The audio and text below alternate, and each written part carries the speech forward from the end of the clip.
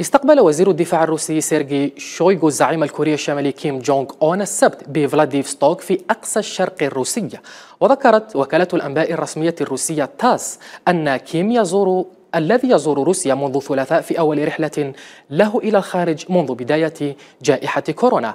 وصل إلى مطار كنيفيتشي في فلاديفستوك قادما من كومسومولسك نا أموري حيث زار الجمعة مصانع طيران. وعرض شويغو على كيم في مطار كنيفيتشي مقاتلة من طراز ميغ 31 مجهزة بصواريخ فرط صوتية من طراز كينجال وفق المصدر نفسه.